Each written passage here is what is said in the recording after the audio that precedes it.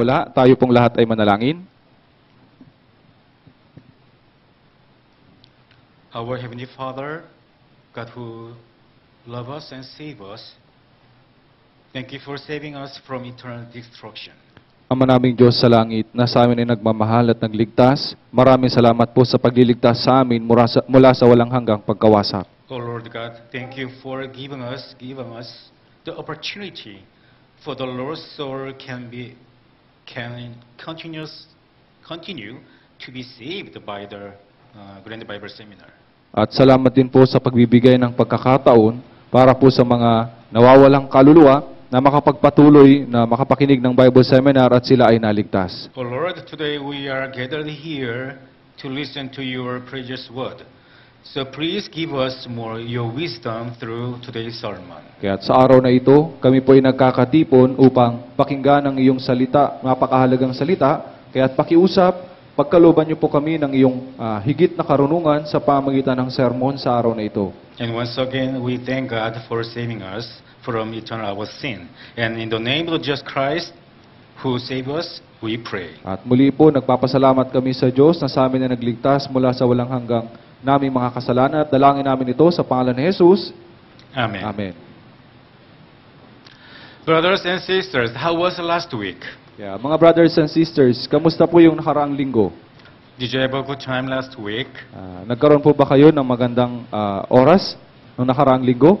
As you know, as you know very well, uh, we finished the Grand Bible Seminar successfully by God's grace Kaya, last week. gaya po ng alam na ninyo, natapos po natin ng matagumpay yung ating Grand Bible Seminar noong nakaraang linggo. That's why through the Bible Seminar last week, so many the people could be saved. They became son of God. Kaya noong nakaraang linggo, maraming mga tao yung naligtas at naging mga anak ng Diyos. So today, welcome to Kedon Church newcomer and congratulations those have been saved through the Bible Seminar last week. Kaya welcome po dun sa ating mga newcomers at congrats, congratulations po dun sa mga naligtas noong nakaraang Bible Seminar. Most of all, I give thank God for allowing quite a lot of people to be saved through the Grand Bible Seminar last week. Higit sa lahat, ako po ay labis na nagpapasalamat sa Diyos na may mga taong naligtas sa pamagitan ng Grand Bible Seminar noong nakaraang linggo. And especially, I give thank many brothers and sisters who work hard for Grand Bible Seminar, and God will remember your hard work and sacrifice for Grand Bible Seminar, and then God will repay you with better grace. At higit sa lahat, ako po ay nagpapasalamat sa maraming mga brothers and sisters na talagang nagsikap, nagpagal para sa Grand Bible Seminar at yung Diyos po ay aalalahanin niya ang inyong mga gawa at sakripisyo at susuklian niya ito ng higit na biyaya. After we were saved, although we are very feel tired and we are very busy, but we cannot stop to preach the gospel until Jesus' second coming. Pagkatapos po nating maligtas, bagaman abalang-abala tayo at pagod na, subalit hindi natin ah, hindi tayo hihinto sa pangaral ng ebanghelyo hanggang sa ikalawang pagdating ni Yesu Kristo. So today we are going to learn about the Christian life after we were saved At, for newcomer and newborn again Christian. at ngayon po, para doon sa mga bagong newcomer at sa mga bagong born again Christians, ay pag-aaralan po natin yung buhay kristyano pagkatapos na maligtas. And we must not forget the fact that there are Satan's hindrance and temptations, whether whenever the gospel is being preached. At huwag din po nating kakalimutan ang katotohanan na mayroong paghahadlang ni Satanas at tukso saan man ipinapangaral ang ebanghelyo. So let's open the Bible. Colossians chapter 3 verse 1 hanggang 2. Kaya buksan po natin sa Biblia, Galatia chapter 3 verse 1 hanggang 2.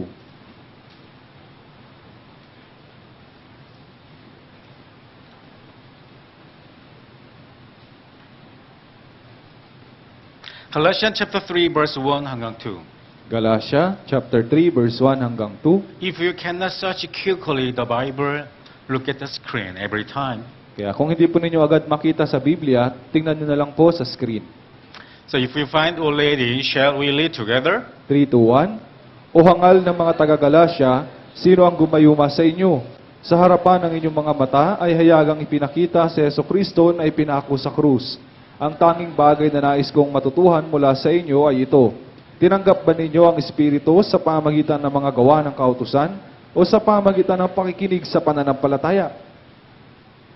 All foolish Galatian means, Galatian means those who born again Christian. Kaya sabi po dito, o hangal ng mga taga-Galasya. Yung mga taga-Galasya po, ito yung mga na, Kristiyano, naligtas sa, sa Galasya. And who has bewitched you means after we were saved, it's possible that Satan can uh, tempted us. Kaya, at sabi po dito, sino ang gumayuma sa inyo? Ibig sabihin nito na si Satanas ay maaari niya tayong tuksuhin.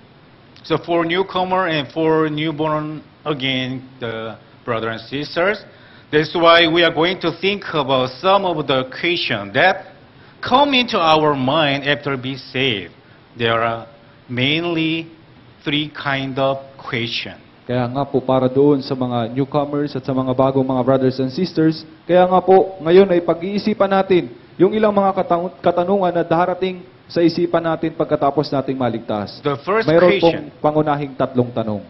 the first question, number one, is about doubt of salvation. Unang-una, yung patungkol sa pagdududa sa kaligtasan.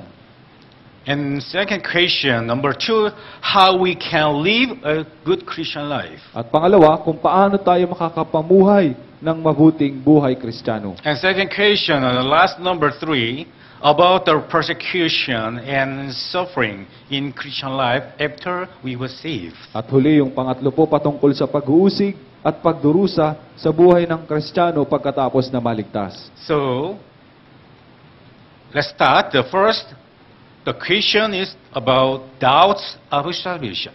Kaya nga, unang-una po, simulan po natin yung pagdududa sa kaligtasan. So one more time, Galatians chapter 3, verse 1 and 2. O foolish Galatian, who has betrayed you that you should not obey the truth, before whose eyes Jesus Christ was clearly portrayed among you as crucified.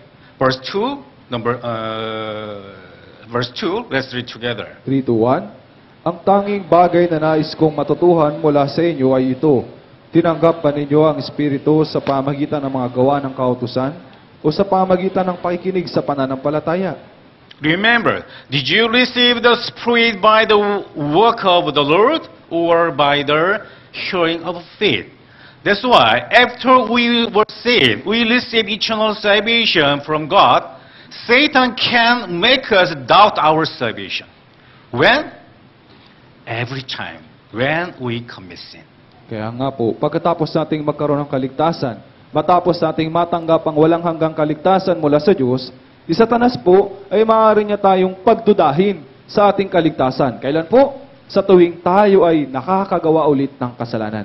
Verse 2, it is very important verse. Let's read together one more time. 3 to 1. Ang tanging bagay na nais kong matutuhan mula sa inyo ay ito.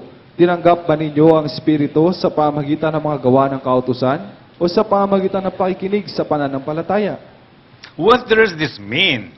Did you receive the Spirit? Did you receive salvation by work of the Lord or by the hearing of the faith? Yeah. What does it mean? Ano pong ibig sabihin nito? Means we receive the Holy Spirit. We receive salvation by faith, not by our righteousness deed. Ibig sabihin nito na tinanggap natin o natanggap natin ang Espiritu Santo, natanggap natin ang kaligtasan sa pamagitan ng pananampalataya, hindi sa pamagitan ng ating matuwid na gawa. That's why until your second coming. That's why don't forget it. It is eternal God's salvation by faith. Kaya nga po, hanggang sa pagdating ni Heso Kristo, kay wag natin itong kalimutan. Ito po ay walang hanggang kaligtasan ng Diyos sa pamagitan ng pananampalataya. We didn't receive God's salvation through our efforts. Hindi natin natanggap ang kaligtasan ng Diyos mula sa pamagitan ng mula sa ating sigasig. So let me tell you my testimony, my experience. Kaya sasabihin ko po sa inyo yung aking karanasan.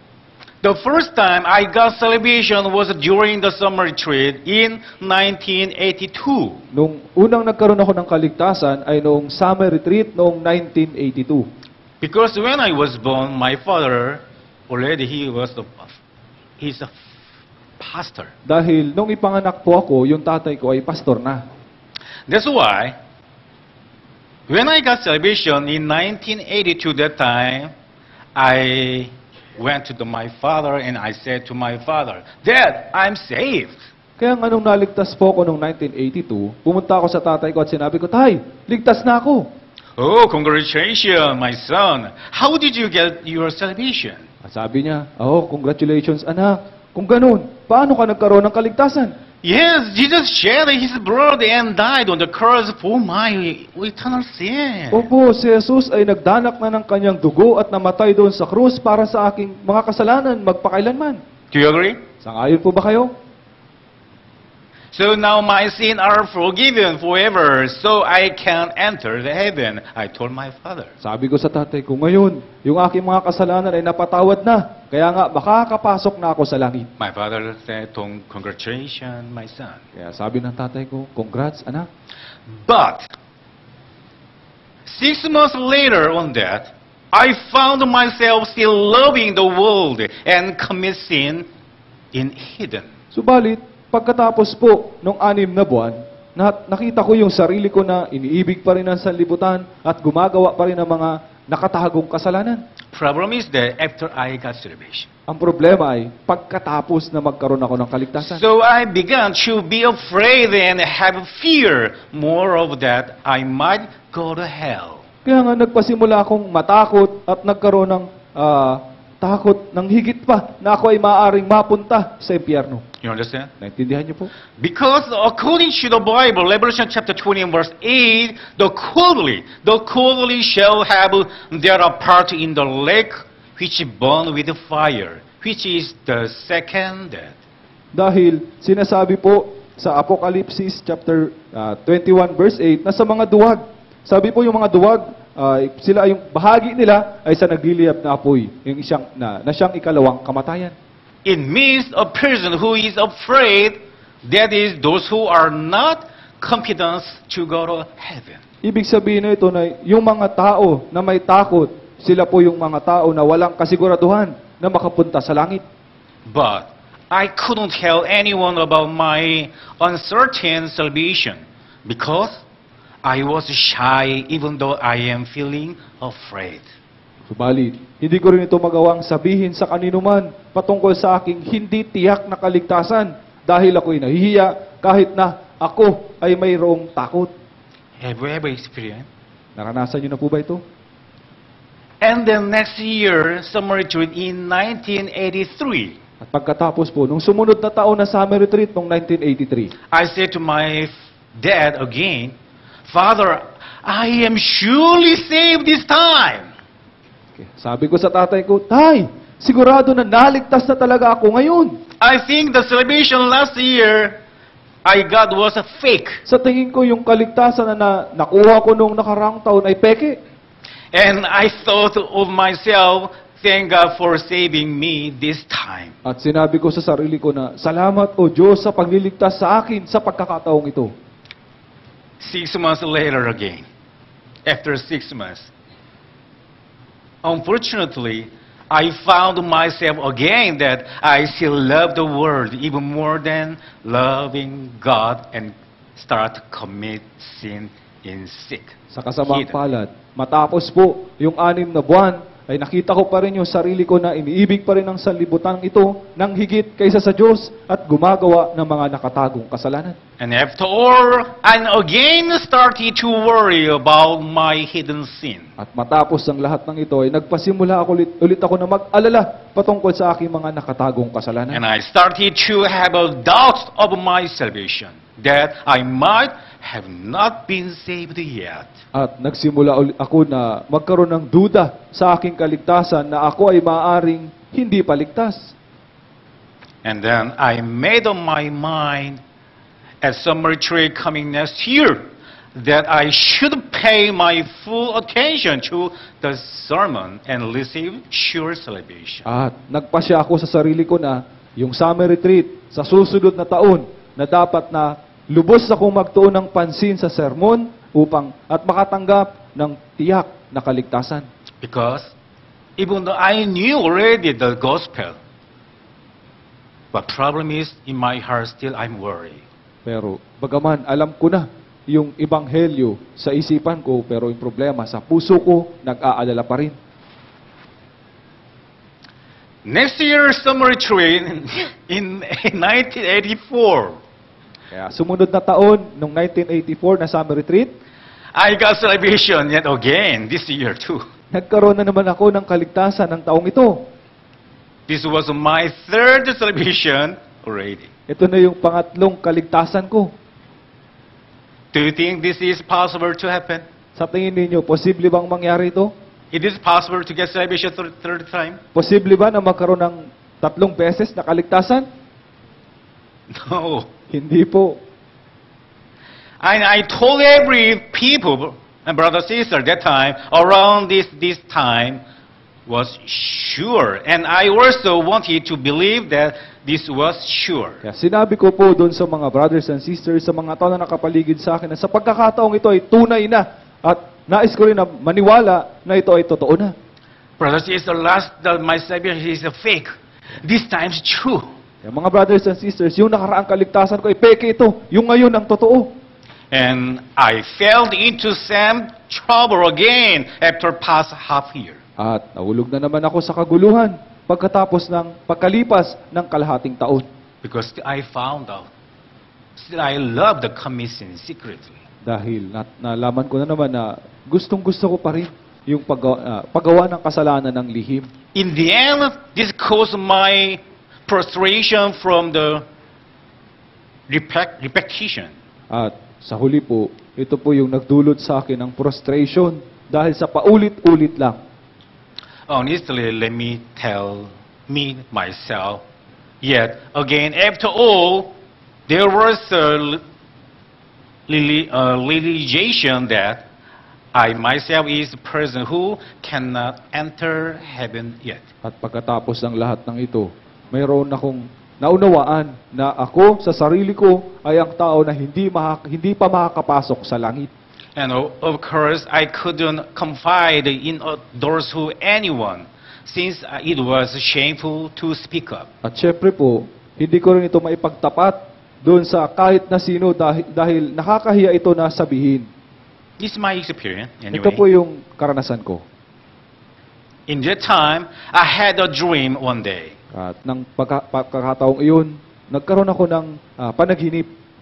And my dream was about my family. It was about everyone except me entering heaven. Ang panaginip na ito ay patungkol sa pamilya ko. Lahat ng pamilya ko ay pumasok sa, sa langit maliban sa akin. In the dream, I tried to explain before God how I was saved with the blood of Jesus or how I got salvation. Doon ko sa, sa panaginip ko, sinusubukan kong ipaliwanag sa harapan ng Diyos kung paano ako naligtas sa pamagitan ng dugo ni Jesus at kung paano ako nagkaroon ng kaligtasan. but this was the answer from God. Subalit, the ito dream. yung sagot ng Diyos sa akin sa panaginip ko. That is Matthew chapter 7. Ito po yung sa Mateo chapter 7. Matthew chapter 7, verse 23. Mateo chapter 7 verse 23. This verse is God's answer in the dream. Ito, yung verse na ito, ito po yung sagot ng Diyos sa panaginip ko. Brothers and sisters, let's read together. 3 to 1. At kung magkagayon ay pahahayag ko sa kanila, hindi ko kayo kilala kailanman. Lumayo kayo sa akin, kayo mga gumagawa ng kasamaan. Do you know me?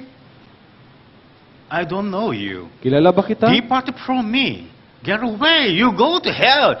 God said to me in the Sab- dream. sabi ng Diyos sa akin doon sa panaginip ko, kilala mo ba ako? Hindi kita kilala. Lumayo ka sa akin. Brothers and sisters, even though I knew already the gospel, knowledge of gospel, But do you know what is problem?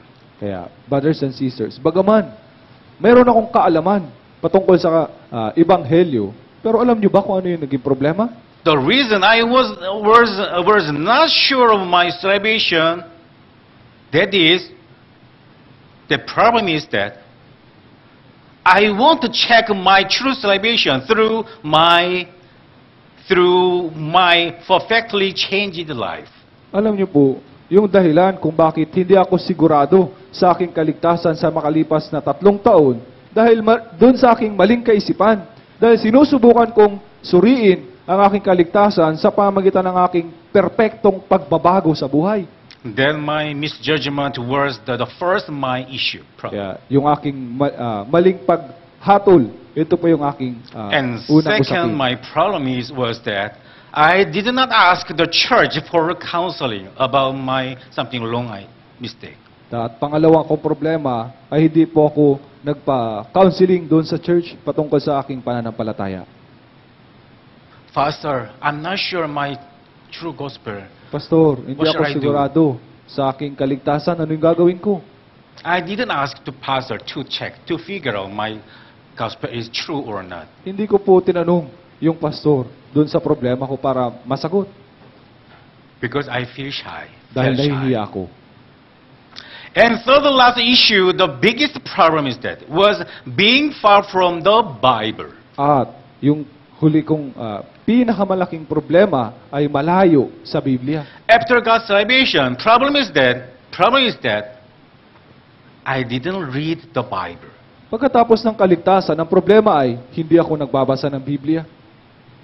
Do you know, as a small joke, fake Christian or only Sunday Christian are called who Christian? Alam niyo po ba yun, yung biro na yung mga peking kristyano o kaya naman yung kristyano lang kapag kalinggo, tinatawag sila na who Christians. Who Christian? Do you know that mean? Alam niyo po ba yun, yung who Christian?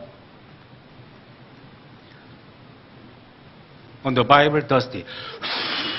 Dahil sa Biblia mayroong alikabok kaya hinihipan. What is mean?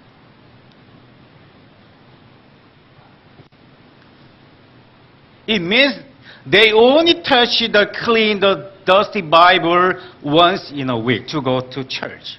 Ibig sabihin nito na hinahawakan lang nila, nililinis yung, Bib- yung alikabok sa Biblia ng isang beses sa isang linggo pag pumupunta sila sa church. So the important thing is that the man did not pay much attention to the word of God every day after he was saved. Kaya ang mahalaga po dito, dahil yung tao ay hindi nagtutuon ng higit na pansin doon sa salita ng Diyos pagkatapos niyang maligtas. Because there are so many reasons, various reasons. The first reason they are very busy. They was he was busy. Marami pong dahilan, pero yung pinakadahilan dito, ang dahilan nila ay abala sila. There's many Christians, he is too busy to read the Bible Kaya because of busy. dahil sa abalang-abala sila, ay hindi na sila hindi nila magawang magbasa ng Instead of Biblia. read the, reading the Bible, already they uh, they already they have a time to look into his on his smartphone. Sa halip na basahin yung Biblia, palagi na lang silang ah, mayroong oras para tingnan yung kanilang smartphone. In fact, those people are more interested in the Word even more than God, our Savior. Sa katunayan, sila ang mga tao na mayroong higit na interes sa sanlibutan kaysa sa Diyos na ating tagapagligtas. Such kind of people, what they would like to do is to sway the faith of such people. It is 100% true. Kaya ang ginagawa ng Diablo, nais na gawin, ay ng Diablo doon sa kanila ay inahakit sila. Doon yung mga taong ito, ng, ah, yung kanilang pananampalataya ay isandaang porsyentong hindi totoo. Back to the point, 1985, after all this happening on April 5th, 1985, I came to realize the true meaning of salvation after, after through my four years of a foolish experience. Kaya balik pa tayo doon sa karanasan ko na pagkatapos doon po noong April 5, 1985, naunawaan ko ang tunay na kahulugan ng kaligtasan matapos po yung apat na taong kahangalan ng akin na To be kahangalan exact. sa karanasan ko. To be exact, I was not my full salvation. That was my true first and last eternal salvation. Kaya para maging ah, eksakto po, ito yung hindi ito yung aking ikaapat na kaligtasan, kundi ito yung aking una at huling walang hanggang kaligtasan. Newcomer and newborn Christian, let's open the Bible, Hebrew chapter 9, verse 12. Buksan po natin Hebreo chapter 9 verse 12. I explain to you one more time, more detailedly. Papaliwanag ko po ulit sa inyo ng isang beses pa at detalyado. Hebrew chapter 9, verse 12. Hebreo chapter 9 verse 12.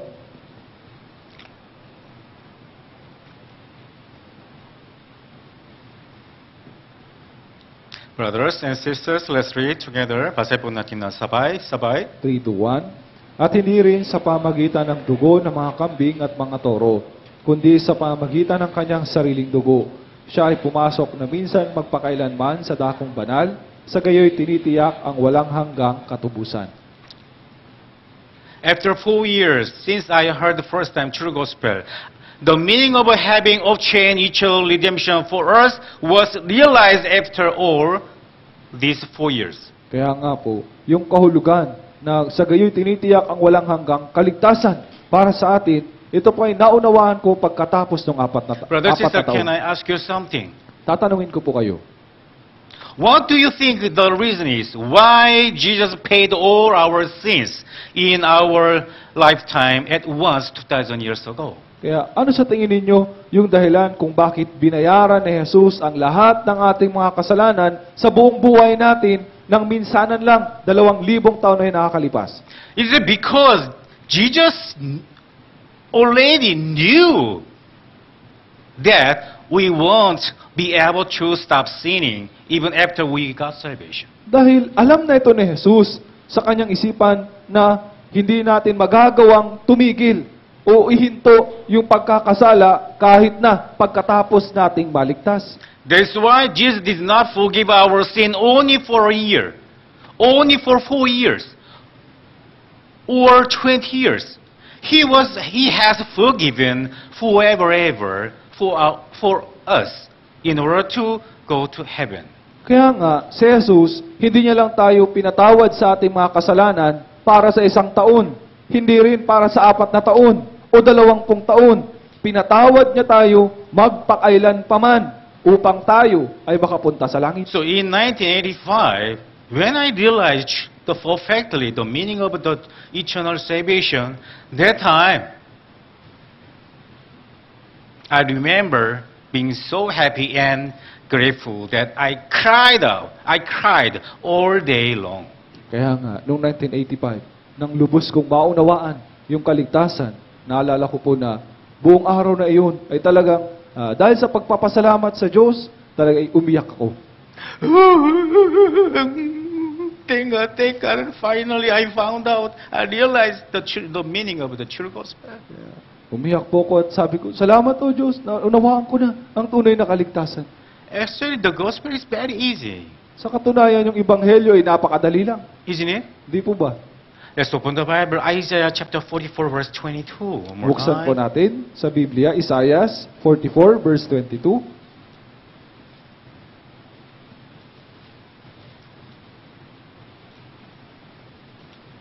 Isaiah chapter 44, verse 22. Isaiah 44 verse 22. Isaiah chapter 44, verse 22.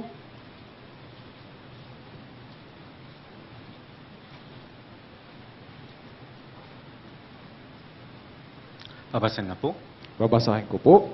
Aking pinawi na parang ulap ang mga pagsuway mo at ang iyong mga kasalanan na gaya ng ambon.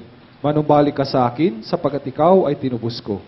Even though we cannot stop commit sin, but when we went to the heaven, to when we met God in heaven, God will say to us, "Return to me, for I have redeemed you." Kaya bagaman makagawa man tayo ng kasalanan, subalit kapag pumasok na tayo sa langit at makita, ma- humarap tayo sa Diyos, sasabihin sa atin ng Diyos, manumbalik ka sa akin sapagkat ikaw ay So, ko. 1985, at that time, I told myself that I was so foolish, so fool, that I had not been able to be saved for three years when getting salvation is just too easy. Kaya nga po, sinabi ko sa sarili ko na napakahangal ko na hindi hindi ako naligtas ng pagkalipas ng tatlong taon dahil yung kaligtasan ay talagang napakadali lang. Since I got true salvation, 1982, 5,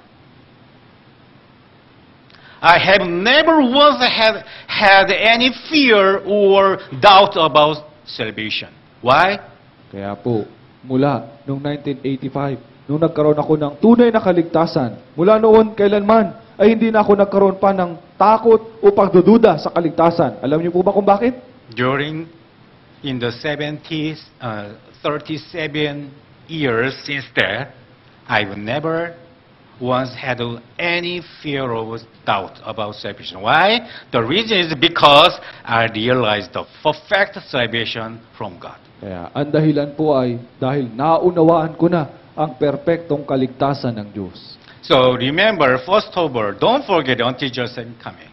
The salvation we have received is eternal salvation. So therefore, our salvation is which cannot be lost forever ever. Kaya nga dapat po natin itong tandaan na una sa lahat, yung kaligtasan na natanggap natin ay walang hanggang kaligtasan. Kaya nga, yung kaligtasan natin ay hindi ito mawawala magpakailan paman. Did you get true salvation? Nagkaroon na po ba kayo ng tunay na kaligtasan? Yes. Opo. If you understand true gospel, please hands up like that. Kung naunawaan ninyo ang tunay na kaligtasan, pakitaas ang kamay ninyo. Still some brother sister, they hands hands up like that. Raise up. Do you feel shy? Nahiya ba kayo? No to feel shy. Hindi ninyo kailangang mahiya. Did you get salvation? Nagkaroon Forever ba kayo ever? ng kaligtasan na magpakailan paman? Please raise hands up. Pakitaas ang kamay ninyo. Don't do that. okay. Here's the question. How do we have to live now as born again? Kaya, pangalawang tanong, ngayon, ay paano na tayo mamumuhay bilang born again? What is the right way to live like a Christ, uh, children of God? This is the second question today. Ito yung pangalawang tanong. Tanong, ano yung tamang paraan upang mamuhay na gaya ng mga anak ng Diyos? So this is the second topic of this Sunday sermon. Ito po yung pangalawang topic natin sa Sunday Sermon.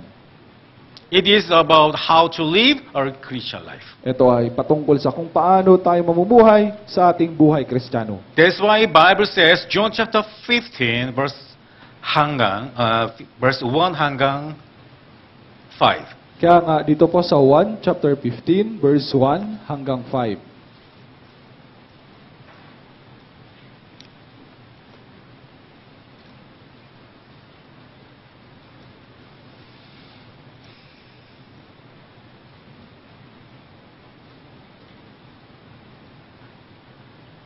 John chapter 15 verse 1 hanggang 5.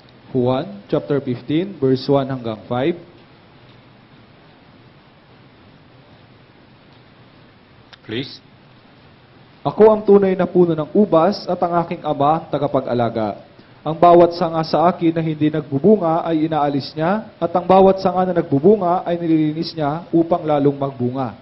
Kayo'y malilinis na sa pamagitan ng salita na aking sinabi sa inyo. Kayo'y manatili sa akin at ako'y sa inyo. Gaya ng sanga na hindi magbubunga buhat sa kanyang sarili, malibang nakakabit sa puno. Gayon din naman kayo, malibang kayo'y manatili sa akin. Verse 5, Ako ang puno ng ubas, kayo ang mga sanga. Ang nananatili sa akin at ako'y sa kanya ay siyang nagbubunga ng marami.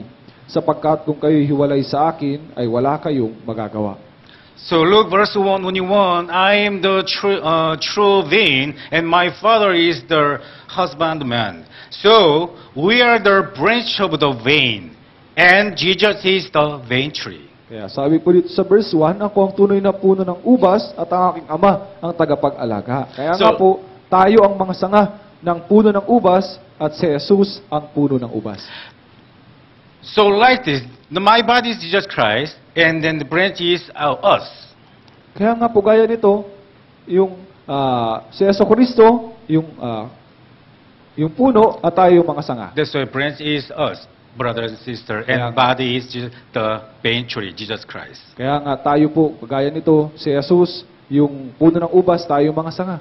Likewise, when the branch break out from the tree, church, and Jesus Christ, the branch died immediately. Kaya nga, gaya po nito, kapag yung sanga ay naputol mula doon sa puno, yung sanga ay agad na mamamatay. Do you understand? Naintindihan niyo po? That's why, therefore, God is explaining that we can never live apart from God. Kaya nga, ipinapaliwanag sa atin ng Diyos na kailanman ay hindi tayo hindi natin magagawang mabuhay na malayo, iuhiwalay sa Diyos.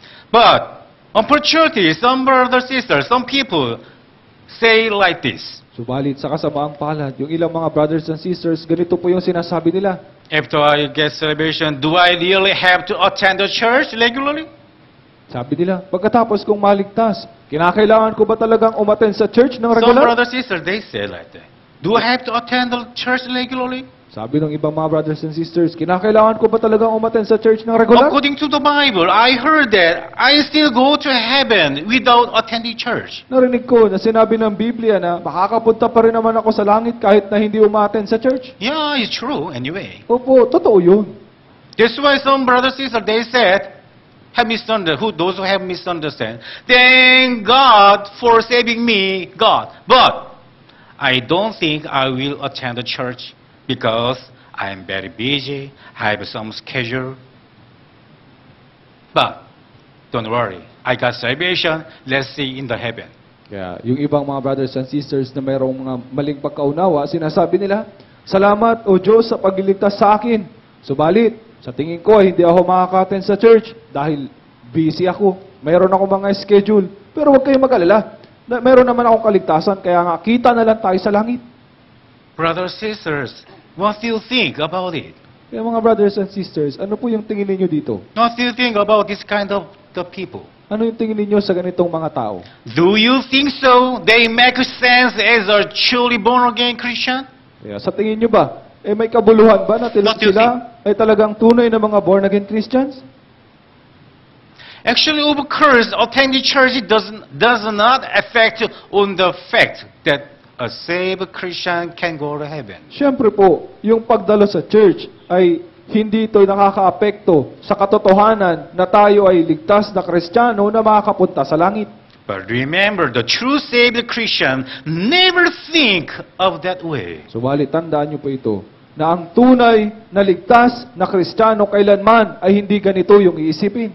Because God planted the Holy Spirit in each of us at the, at the time we believe, it, we believe the true salvation. Dahil inilagay sa atin ng Diyos ang Espiritu Santo sa bawat isa sa atin sa oras na sinampalatayanan natin ang kaligtasan. Even you might have not know the Holy Spirit is already living in your heart after you got salvation. Bagaman, hindi ninyo ito nalalaman, subalit ang Espiritu Santo ay nabubuhay niya sa inyong mga puso. That's why in your heart, remember, don't forget, the Holy Spirit in, in your heart. Kaya nga, tandaan niyo po ito, huwag ninyo kalimutan na ang Espiritu Santo ay nasa puso ninyo.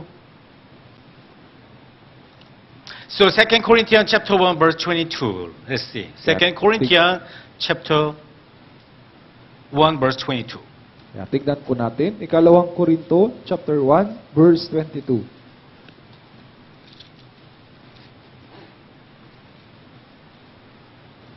According to Bible says, 2 Corinthians chapter 1 verse 22, Kaya, ayon po sa sinasabi ng Biblia, dito sa ikalawang Korinto, chapter 1, verse 22, let's read together. 3 to 1, Inilagay rin niya ang kanyang tatak sa amin at ibinigay sa amin ang Espiritu sa aming mga puso bilang paunang bayad. Because the Holy Spirit is in your heart after you are saved, that's why Holy Spirit will guide you and and protect you. Kaya dahil ang Espiritu Santo na ay nasa puso ninyo, kaya nga siya ay gagabay at poprotekta sa inyo. Brother, sister, let's see one more again. Let's go. John chapter 16. Tignan John din- chapter 16. Tignan po din po natin, Juan, chapter 16,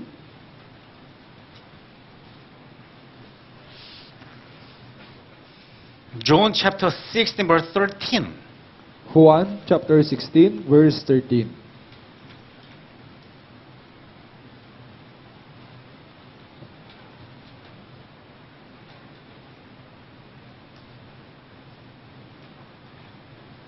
John chapter 16, verse 13. Juan chapter 16 verse 13, Let's read together. 3 to 1. Subalit kapag dumating na ang Espiritu ng katotohanan, papatnubayan niya kayo sa buong katotohanan, sapagkat hindi siya magsasalita mula sa kanyang sarili, kundi ang anumang bagay na kanyang marinig, iyon ang kanyang sasabihin at kanyang ipahahayag sa inyo ang mga bagay na darating. The Spirit of truth is come. He will guide, the Holy Spirit will guide you in all truth. Kaya kapag dumating na ang Espiritu Santo, ang Espiritu ng katotohanan, papatnubayan niya kayo sa buong katotohanan.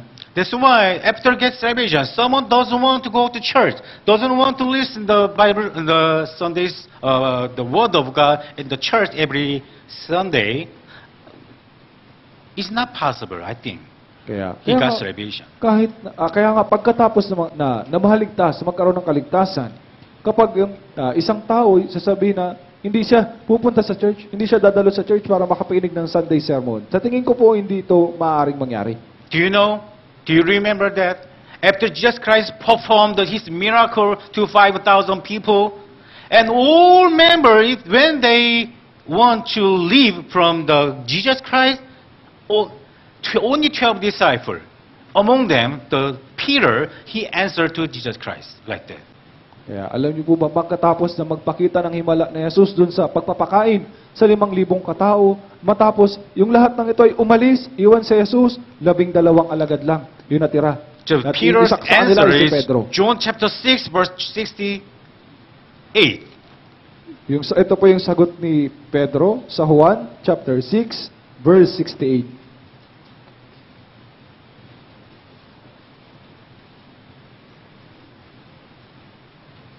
John chapter 6, verse 68. Juan chapter 6, verse 68. Then Simon Peter answered Jesus Christ him, Lord, to whom shall we go? Those that hate the word of the eternal life. Sumagot sa kanya si Simon Pedro, Panginoon, kanino kami pupunta? Ikaw ang may mga salita ng buhay na walang hanggan. That means that the branches of the tree must be attached to the main tree to survive. Ibig sabihin nito na ang sanga ng puno ay dapat na nakakabit doon sa puno ng ubas upang mabuhay. That's why after you got salvation, after you became son of God, you have to do like this.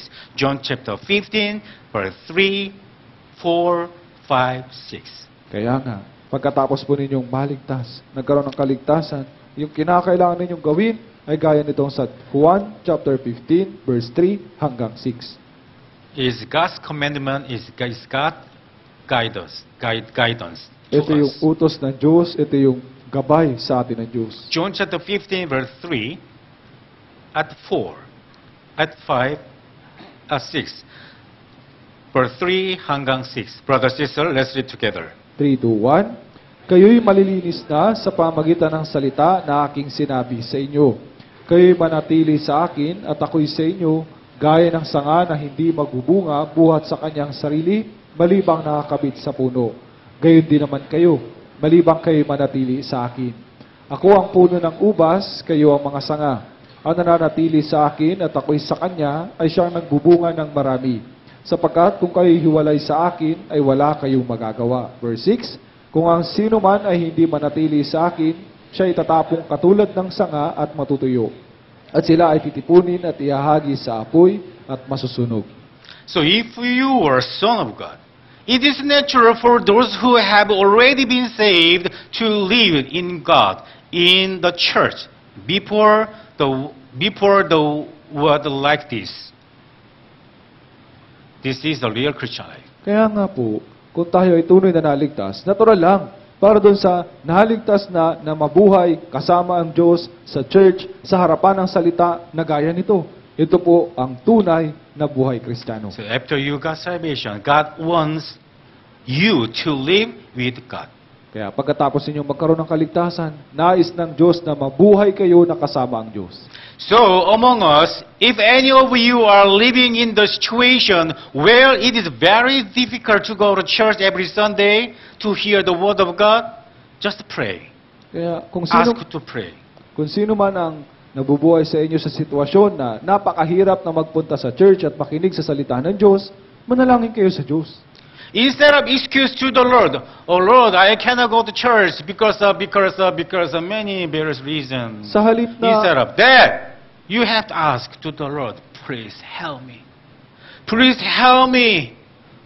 Please allow me the situation to go in order to go to church regularly. sa halip na magpalusot kayo sa Diyos na, O Diyos, hindi ako makapunta sa church dahil sa ganito, ganito, ganyan. Kaya nga sa halip na ganoon, manalangin kayo sa Diyos na, O, o Diyos, pakiusap. Ipahintulot mo sa akin ang sitwasyon na makapunta sa church.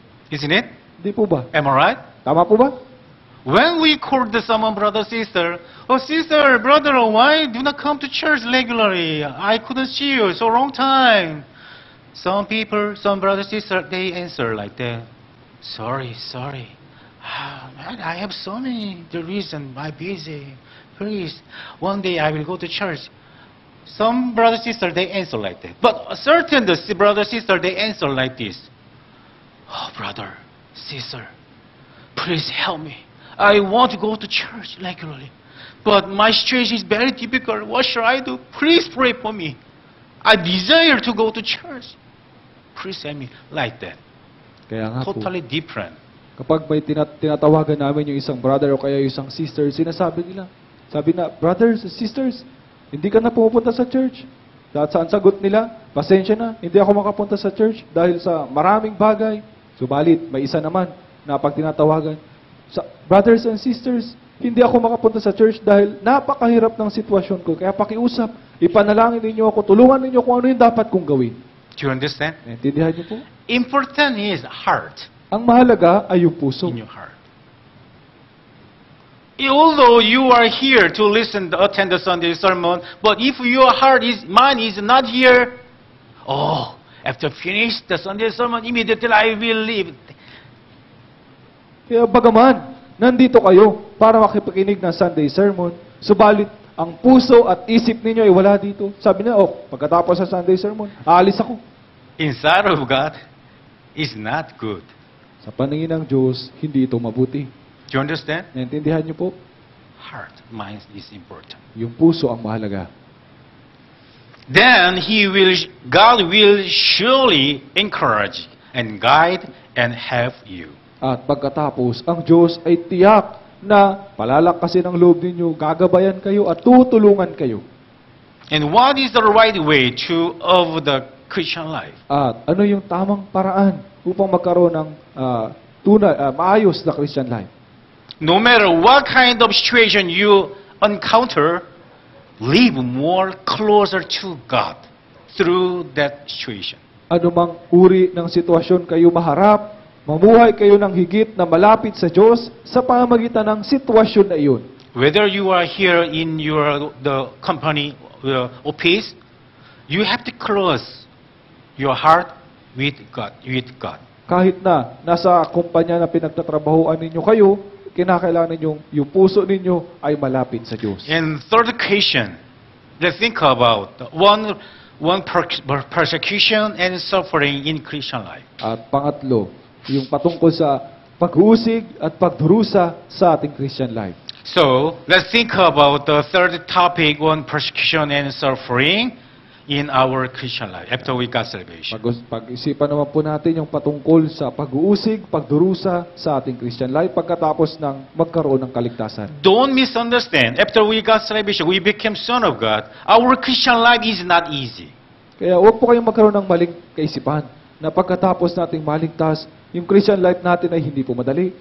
After years since the brother sister was saved, quite a few of them saying Christian life is very, very, very easy or difficult. Pagkatapos po ng isang taon na ma- pagkatapos ng isang taon na maligtas, may mga brothers and sisters na sinasabi nila, ang Christian life ay napaka mahirap o madali. Pastor, oh, Christian life is not easy, very difficult. Pastor, yung Christian life ay hindi madali, napakahirap. Some people keep showing you his smile like that. Kaya may mga tao dito nakangiti. Do you agree? Sang-ayon ba kayo? Is it not easy Christian life? Yung Christian life ay hindi madali. Yes. Oo. Yes. For me, it's not easy Christian life. Opo, para sa akin, yung Christian life ay hindi madali. Brother, sister. There are three reasons about why do people say the Christian life is very difficult. Kaya mga brothers and sisters, mayroong tatlong dahilan kung bakit sinasabi ng mga tao na ang Christian life ay napakahirap. The first reason why some people, brothers and sisters, say Christian life is, is not easy, difficult.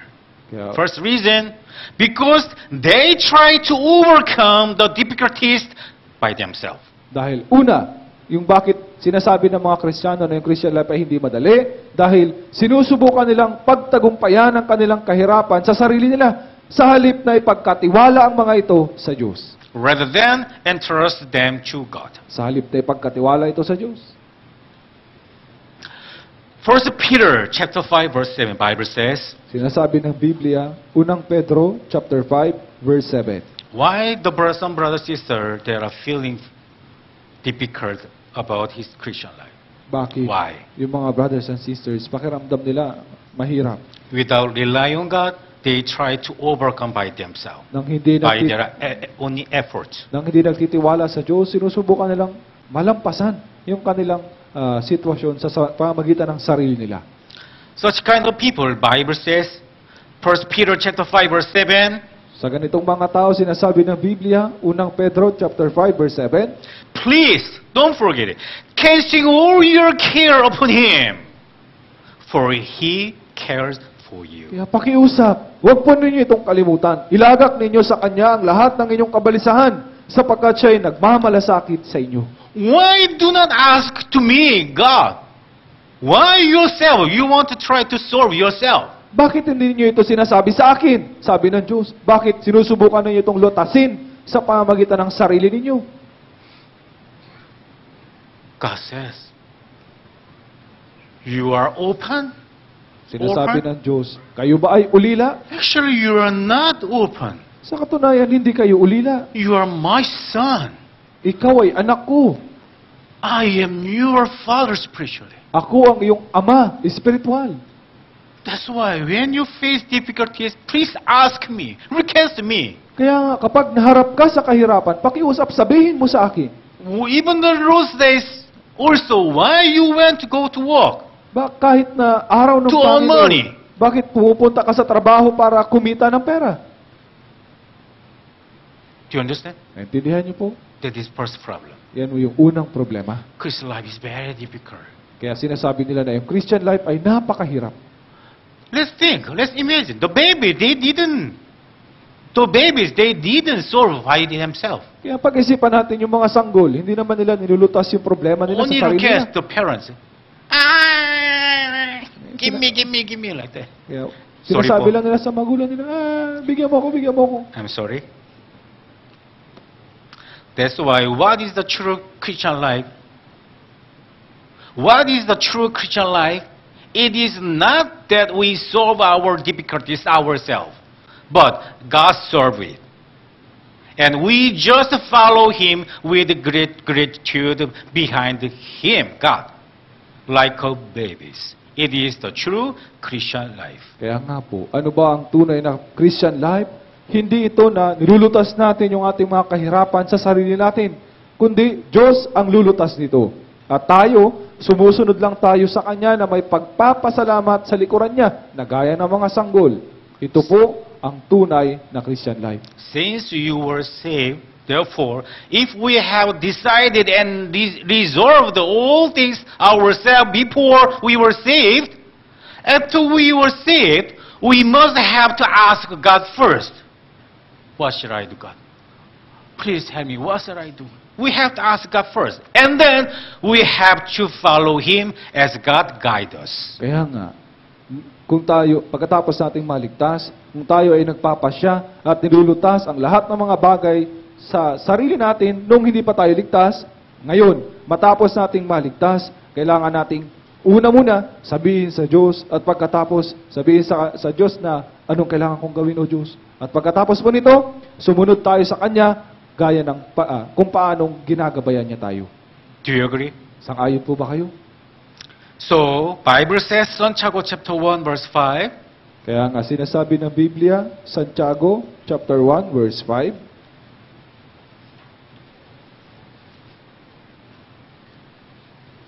So God says to the Son of God,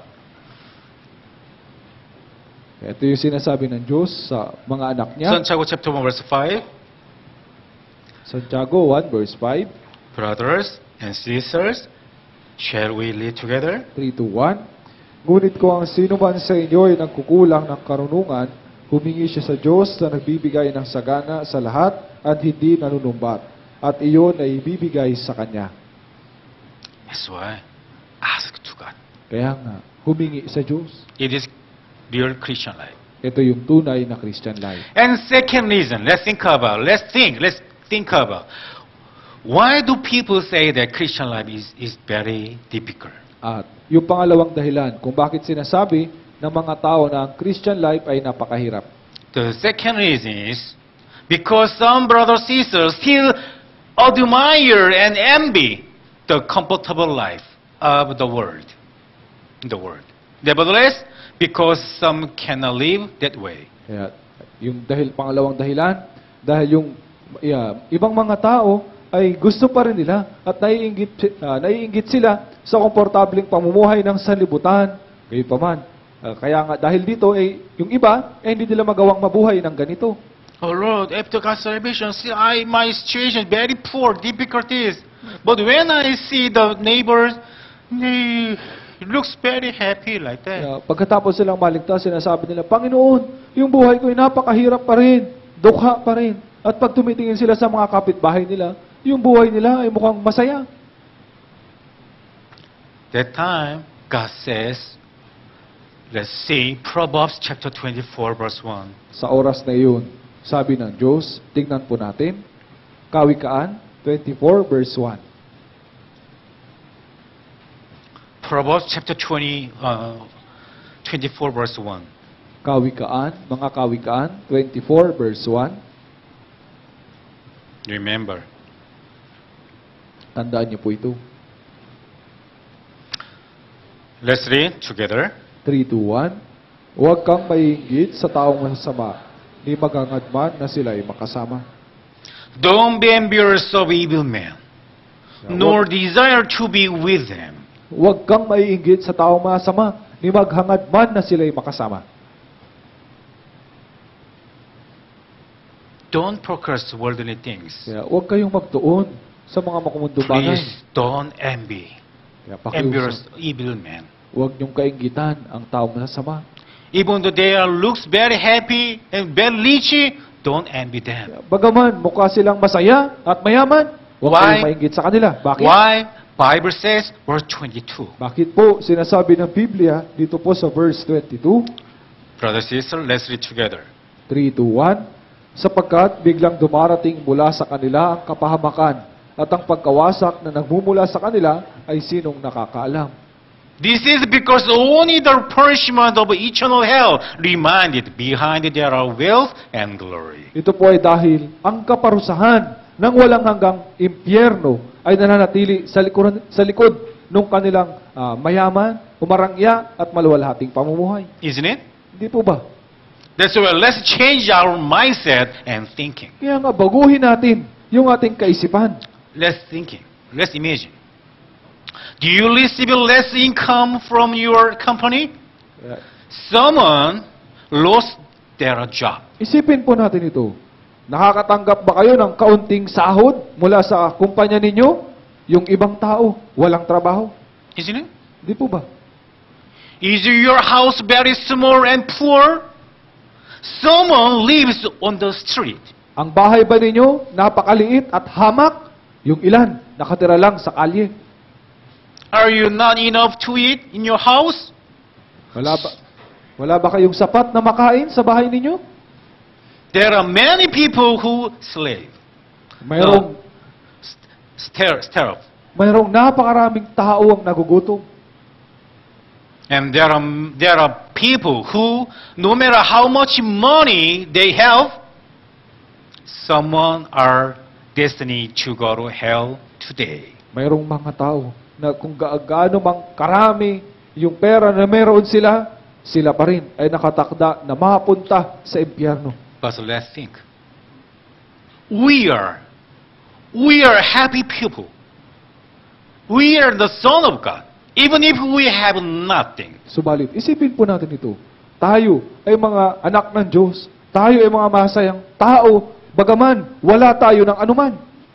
Because the Lord is, the Lord is our Father spiritually and we are the one who can go to heaven anytime. Dahil yung Panginoon, siya ang ating Ama, espiritual. At tayo ang mga tao na pupunta sa langit anumang oras. That's why God says, don't envy them.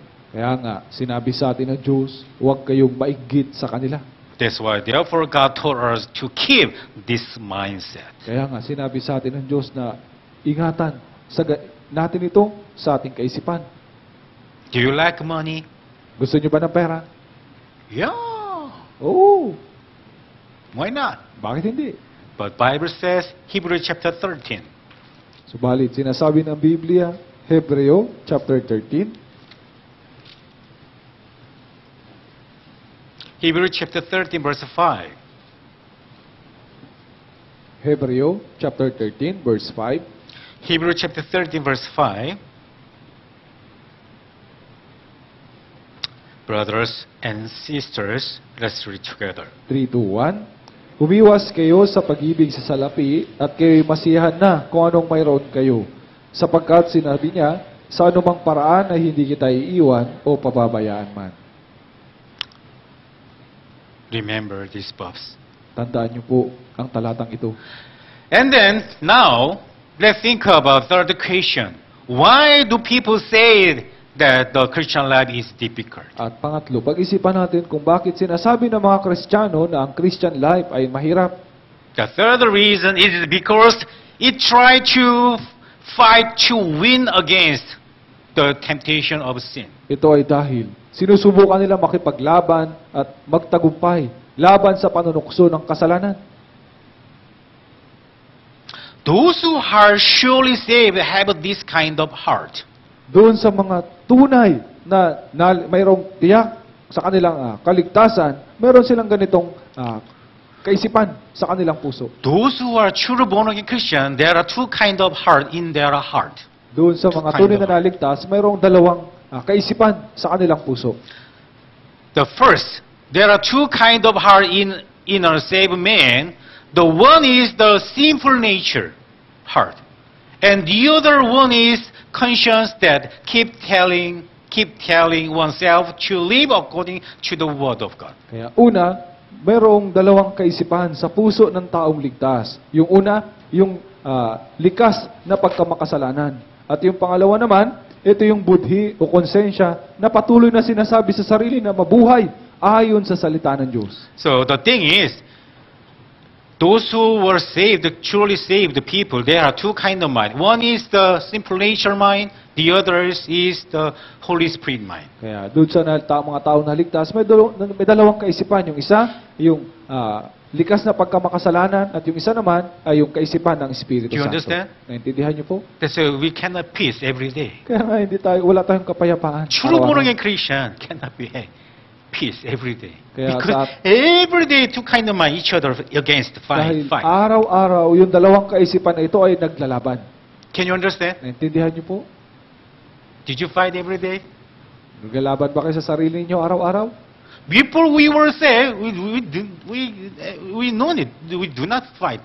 My two kind of because in my heart there are only one mind, No. devil mind. Bago tayo maligtas, eh wala namang ganitong paglalaban sa sarili natin. Dahil noon, bago tayo maligtas, mayroon lang tayong isang kaisipan. Kaisipan ng Diablo. Excuse me, can you catch my point? Na, naintindihan niyo po ba After ako? was saved, Holy Spirit and into the my heart. Pagkatapos nating maligtas, yung Espiritu Santo ay pumasok sa puso natin. Do you understand? Naintindihan niyo po? So in my heart, two kind of minds and fight each. Kaya nga, sa puso ko, may dalawang kaisipan na naglalaban. Please make a boyfriend. Pakiusap, mag-boyfriend ka. No, it's not good. Hindi, hindi yun mabu- God doesn't want. Ayaw ng Diyos. Please don't go to the church this time. Kaya, Pakiusap. skip the attend the church this time You- because you feel you may feel tired. Kaya pakiusap, huwag kang pumunta sa church ngayon. Dahil marahil ay pagod ka ngayon. No, I can't. Yung isa naman, Because hindi. God want me to go to church every Sunday, Hindi pwede dahil nais ng Diyos na pumunta ako sa church bawat linggo. isn't it? Hindi po ba? Let's see Romans chapter 7, verse 21. Tignan po natin, Roma chapter 7, verse 21. Romans chapter 7, verse 21. Roma chapter 7, verse 21. This is the mind which the Apostle Paul's heart. Ito po yung kaisipan na nasa puso ni Apostol Pablo. Verse 1, verse 21 hanggang 25. Brothers and sisters, let's read together. 3 to 1. Kaya nga natagpuan ko ang isang kautusan na kung ibig kong gumawa ng mabuti, ang kasamaan ay malapit. Sapagkat ako'y nagagalak sa kautusan ng Diyos sa kaibuturan ng aking pagkatao. Subalit nakikita ko ang kakaibang kautusan sa aking mga bahagi na nakikipagbaka laban sa kautusan ng aking pag-iisip. At ako'y binibihag sa ilalim ng kautusan ng kasalanan na nasa bahagi ng aking katawan. Kahabag-habag na tawa ko, sino ang magliligtas sa akin mula sa katawang ito ng kamatayan? Verse 25, Ngunit salamat sa Diyos sa pamamagitan ni Yeso Kristo na Panginoon natin. Kaya nga, ako mismo ay naglilingkod sa kautosan ng Diyos sa pamagitan ng aking pag-iisip. Ngunit sa pamagitan ng laman ay sa kautosan ng kasalanan. This is the Apostle Paul's heart. Ito po yung puso ni Apostol Pablo.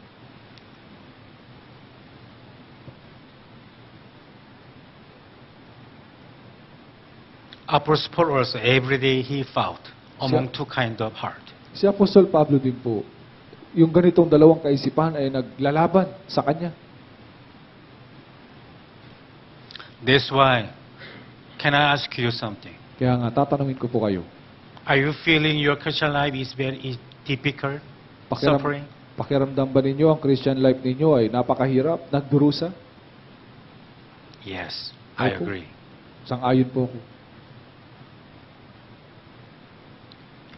If you feel, if you are feeling your Christian life is very difficult and suffering, actually, it is very nature to happen Kaya, as a saved, saved, saved Christian. kung pakiramdam ninyo na ang iyong Christian life ay napakahirap, natural lamang po ito. It is normal. Normal lang ito.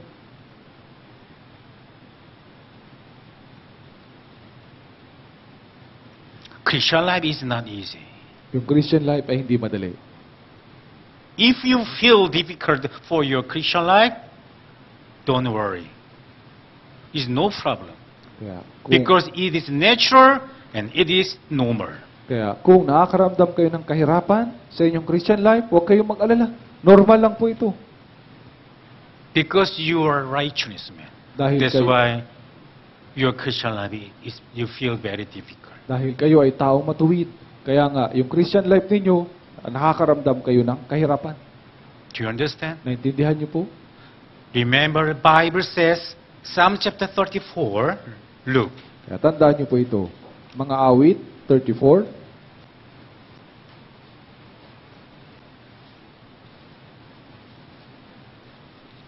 Psalm chapter 34 verse 19, Mga awit, 34, verse 19.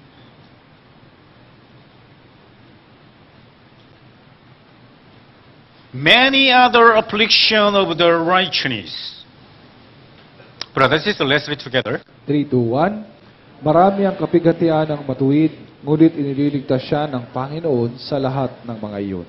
Many other affliction of the righteousness. If you are righteous man, you will face every time, every day difficulties. Kaya marami ang kapigatian ng matuwid. Kung kayo ay matuwid, kaya nga araw-araw kayo ay mahaharap sa maraming kahirapan.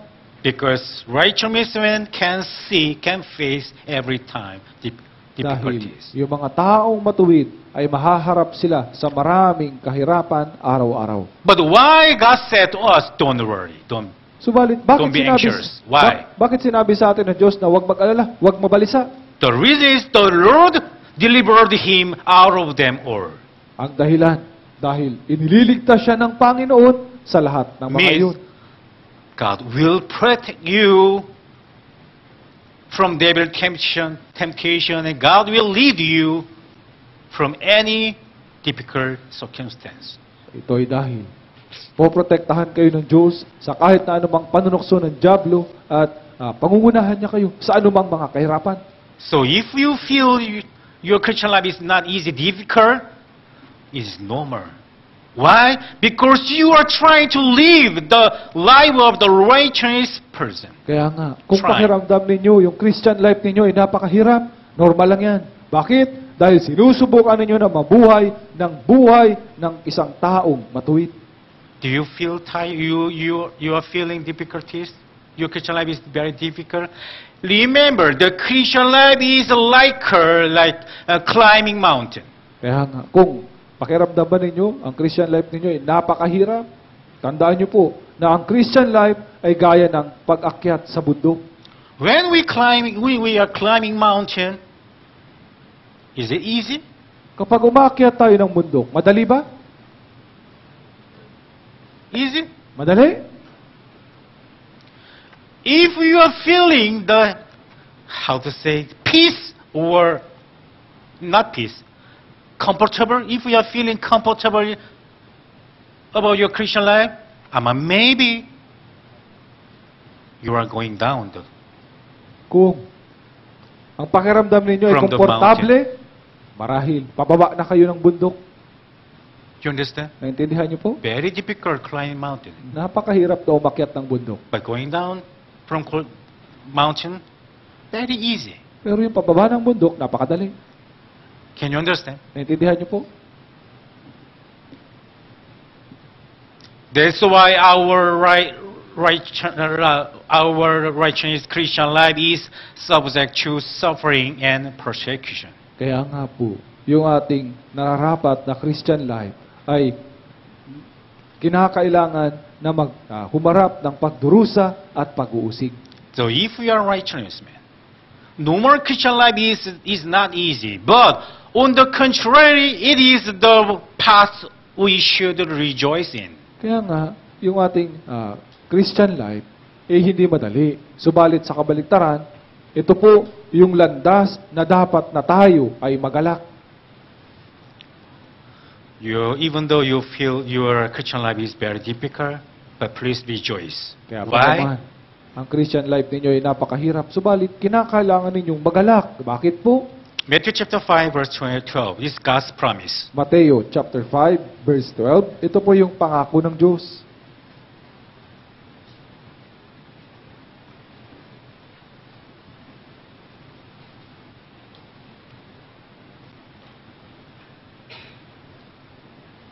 Matthew chapter 5 verse 12. Mateo chapter 5 verse 12. Also, let's read together. 3 to 1. Magalak kayo at magsaya, sapagkat malaki ang gantimpala ninyo sa langit, sapagkat kayo hindi nila inusig ang mga propeta na nauna sa inyo. That's why don't stop climbing mountain. Kaya nga huwag kayong huminto na pagakyat Don't ng give bundok. up your Christian life. Huwag ninyong isuko ang inyong Christian life. In fact, the Christian life is very difficult, but this is the path, the way of blessing way. Kaya sa katunayan, yung Christian, yung Christian life natin ay napakahirap. Subalit, ito yung landas ng pagpapala. And that path is the path that Jesus choose, choose, chosen and walked. At ito yung landas na ah, pinili ni Jesus at nilakaran. And at the end of the path, God is waiting for us. At sa dulo ng landas na iyon, ang Diyos ay naghihintay sa atin. Do you understand? Naintindihan niyo po?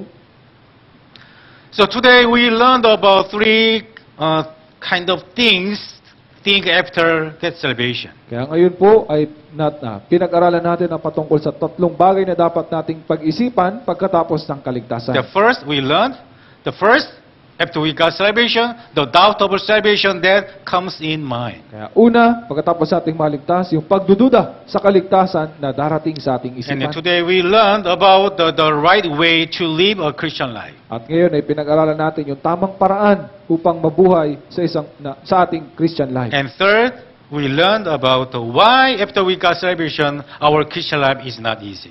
At napag-aralan din natin kung bakit pagkatapos nating maligtas, yung ating Christian life ay hindi madali. Means the reason why we face difficulties and uh, persecution and suffering. At pinag-aralan natin kung bakit humaharap tayo sa mga pag-uusig at pagdurusa. Because still we are not forget, give up to climbing mountain. Dahil hindi pa rin natin sinusuko ang pag-akyat sa bundok. Let's pray together. Manalangin tayo.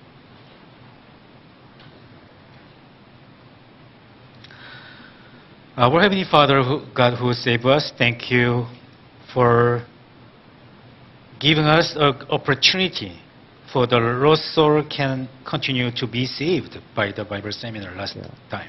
Maraming salamat po Diyos na sa amin na nagligtas sa pagbibigay ng patuloy na pagkakataon para doon po sa mga newcomers na papakinig ng ah, Bible Seminar at maligtas. And thank you for giving us the more, more great opportunity to learn your wisdom and your love. At salamat po sa pagbibigay sa amin ng higit na pagkakataon upang matutunan ang iyong ah, karunungan at ang iyong pag-ibig. Oh Lord, we know that the Lord, the day of the day the Lord comes comes again to this world is too near. At Panginoon, nalalaman po namin na ang araw ng pagdating ng Panginoon sa mundong ito ay napakalapit na. So please may you have mercy on these Philippines so that all lost souls can be saved, can be saved. Kaya pakiusap, mahabag kapanawa sa dito sa bansang Pilipinas upang ang lahat ng mga kaluluwa ay maligtas. There are so many brothers, sisters, and newcomer, and then new born again Christian are here. That's why please uh, protect them uh, from any devil temptation, and please guide them uh, to the right way. Nap, dito po ay napakarami mga brothers and sisters at ang mga bagong newcomers kaya pakiusap, tulungan niyo po sila at protektahan sila sa anumang panunukso ng Diablo. And once again, we love Jesus Christ who saved us. At muli, iniibig po namin si Yeso Kristo na sa amin ay nagligtas. In the name of the Jesus Christ, whose Savior, we pray. Ito po yung aming dalangin sa pangalan ni Yeso Kristo na aming tagapagligtas. Amen. Amen.